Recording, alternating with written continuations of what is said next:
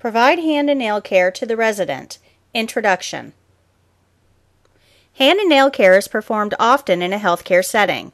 This skill consists of soaking, washing, rinsing, drying, and applying lotion to the hand, as well as cleaning under the nails and filing rough edges. For the state test, you will only be required to perform nail care on one hand.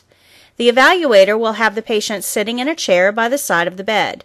The care plan may indicate which hand you should perform nail care on. Pay close attention to the care plan. Gloves are optional for this skill. If the patient's skin is intact, you do not need to wear gloves. If the patient has cuts, rashes, wounds, or any other abnormalities, you will need gloves. Because you often do not know if the patient has any skin issues until you begin cleaning, it is best to wear gloves when performing this skill. You will need to place a barrier on the bedside table before getting the basin of water to soak the patient's hand. This prevents water from dripping onto the floor if water spills, making the floor slippery. It also provides a clean place for you to put your clean supplies. To begin this skill, you will fill a basin with water to soak the patient's hand. You may use either a bath basin or an emesis basin for this skill. When filling the basin with water, use a paper towel to turn the faucet on and off. Your hands will be clean and the faucet is dirty. And check the water temperature with the inside of your wrist. The water should feel warm, but not hot. Since this is a washing skill, you will need to ask the patient to check the water temperature before you put their hand in the basin to make sure the water is comfortable for the patient. After the patient has soaked their hand, you will remove the hand to wash it. You cannot add soap to the basin, only to the washcloth you are using to clean the hand. You will then return the hand to the basin for rinsing. Remove the hand after rinsing and set it on the towel to dry.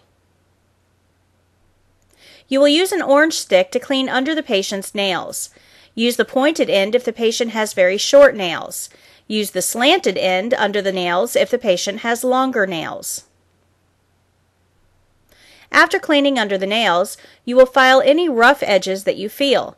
It is important to file in one direction only, or you may split the patient's nail down the middle.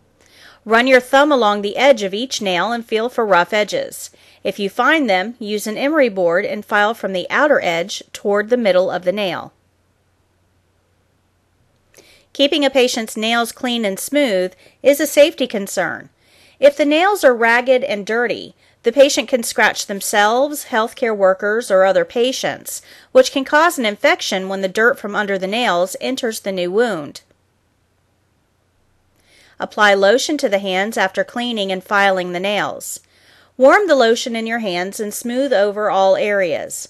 Wipe the excess lotion off with a towel so the patient does not have slippery hands.